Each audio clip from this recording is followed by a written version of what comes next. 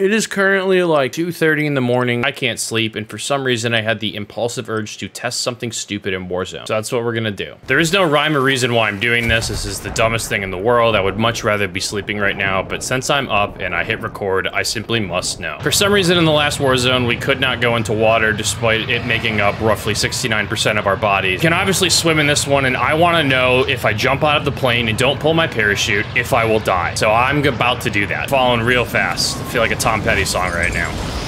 The water approaches. I'm so nervous. I will go to bed once this is done. Okay, you don't die.